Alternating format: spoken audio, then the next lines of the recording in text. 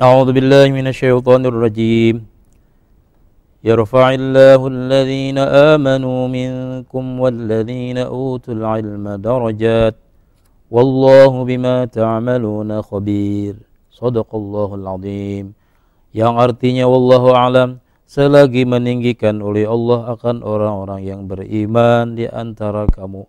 Dan orang-orang yang diberi ilmu pengetahuan beberapa derajat kemuliaan di dunia dan akhirat. Dan bermula Allah Ta'ala adalah yang amat mengetahui dengan barang yang kamu perbuat.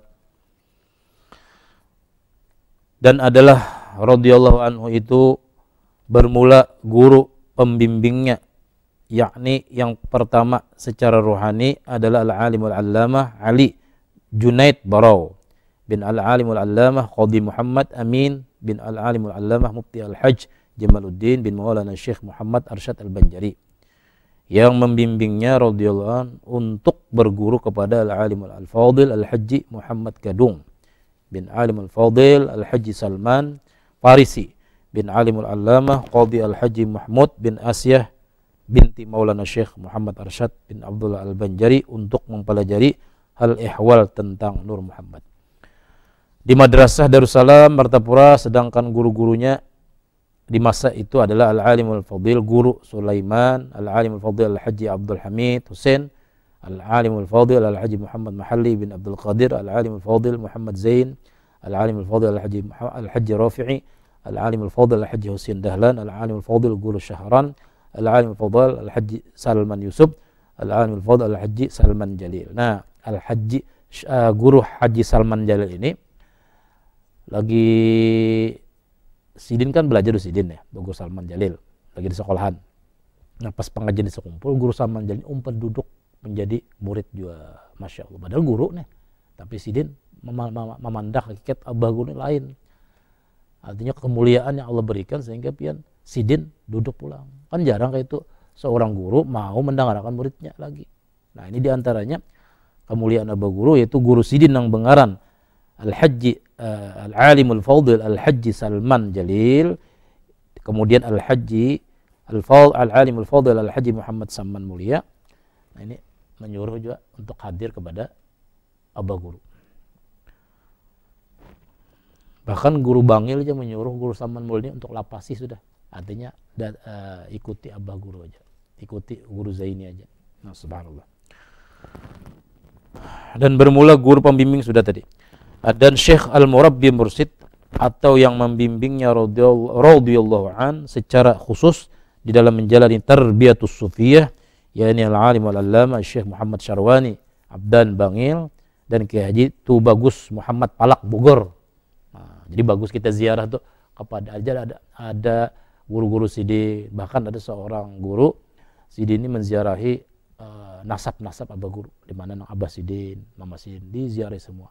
Nah ini juga bagus juga diziarahi guru-guru Sidin di antaranya. Tadi apa? Nang jauh dari kita nih, yaitu di Bogor. Itu terkenal dengan Kiai Palak Bogor. Ini salah satu salah satu perguruan Sidin. Dan al-alim al-allama Syekh Sayyid Muhammad Amin Al-Qutbi Al-Makki. Hingga kemudian al-alim al-allama Syekh Muhammad Amin Al-Qutbi Makki menyuruhkannya radhiyallahu an kepada Maulana Syekh Muhammad Arsyad Al-Banjari radhiyallahu anhum secara ruhani hingga Maulana Syekh Muhammad Arsyad Al-Banjari menyerahkannya radhiyallahu an ke bawah bimbingan langsung Sayyidul Wujud Rasulullah sallallahu alaihi wasallam. Masya Allah, Masya Allah.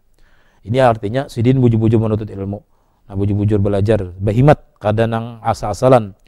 Dan adalah radhiyallahu an itu seorang yang hafidul Quran juga hafid beberapa matan ilm. Bahkan menurut riwayat Sidin bukan hanya hafal Quran tapi tafsir juga. Tafsir jalan lain itu hafal Sidin. Kemudian hafal juga beberapa matan ilmu dan kitab-kitab agama di antaranya matan Alfiyah. Qala Ibnu Malikin itu. Dan tafsir Quran Al-Azim dari Imam Al-Jalalain sudah tadi ulah. Dan kitab Bajuri Hasyah Fathul Qarib Masya Allah. Hafal Sidin. Bukan hanya menguasai tapi hafal juga. Sebab artinya apa? Sidin ini artinya menuntut ilmu itu buju-buju. Nah ini yang kita ikuti. Jangan kita mendengar kisah ini ah, umpatan aja. Tapi diikuti. Napa nang sidin rajin Nah, itu rajin supaya kita dapat keberkahan juga supaya kita kawa mendapat kemuliaan yang Allah berikan kepada sidin juga. Nah, itu. Sedangkan guru-guru taklim dan guru-guru tabarruknya radhiyallahu anhu itu amatlah banyak jumlahnya. Yang menurutnya hampir mencapai 200 guru. Masya Allah, 200 guru sidin nih. Kita berapa ikut guru? Nah, sini 200 guru. Subhanallah. Dan diantaranya adalah al-alim al-allam al-qutub Sayyid Abdul Qadir al-Bar dan al-alim al-allama Sayyid Hasan bin Muhammad al-Mashab dan al-alim al-allama Sayyid Hasan bin Muhammad Fad'aq al-Makki Fad'aq al-Makki dan al-alim al-allama Sayyid Muhammad bin Alwi al-Maliki nah nang zaman itu jabat guru insyaallah wali kutubnya sidin ini di zaman itu dan al-alim al-allama Syekh Zakaria bin Abdullah Bila dan al-alim al-allama Syekh Yasin al-Fadani dan al-alim al-allama Syekh Ismail al-Yamani radhiyallahu anhum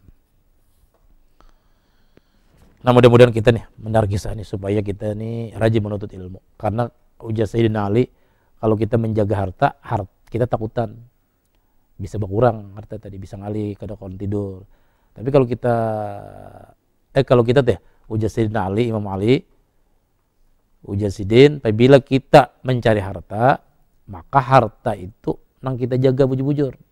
Tapi kalau kita mencari ilmu, maka ilmu itu nang menjaga kita. Nah, Nah itu. Nah mudah-mudahan. Tapi jangan salah juga, jangan ilmu aja harta kada salah juga harus keduanya karena fasilitas harus ada. Sebagaimana ada di zaman Nabi ada dua orang. Nang seikong ini menuntut ilmu aja gawian, nang seikong ini mencari duit. Karena supaya inya nang menuntut ilmu ini kada kepikiran lagi. Nah, saling menopang. Karena punya menuntut ilmu aja duitnya kada ada, kayak apa? Menukar kitab, kayak apa bayar gurunya. Jadi harus sama seimbang. Makanya ulama dan agnia ini harus seimbang. Ada kau jalan majelis ilmu punya kada orang agnia. Tapi kalau di abah guru luar biasa abah guru inilah agnia pulang sidin. Nih ini bahaulan ini nah. Bahaulan semalam itu ulun hadir di rumah bini sidin ketiga subuh pada waktu itu. Di Bakesa ada Haji Jahrani katanya. Jasidin, tahulah nih duit nang haulan nih duit sidin sorangan. Kadang tidak mengalihi orang. Masya Allah. Hanya kalau kita banyak duit, kita kadang mengalihi orang lagi. Tapi kalau kita kadang banyak duit kan kita bisa membebani orang. Nah perlulah kita juga orang Islam ini harus kuat ekonominya supaya Islam ini bisa berjalan dengan mudah. Barakallahu fikum. Pas saja kah? Pas. Wallahu alam. Assalamualaikum warahmatullahi wabarakatuh.